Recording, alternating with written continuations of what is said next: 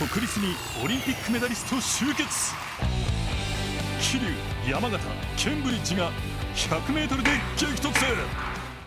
成功ゴールデングランプリ男子 100m に出場する成功の山縣亮太です、えー、復帰戦になるので、えー、来年の、えー、オリンピックにつなげられるように、えー、頑張ります。未来へ刻め。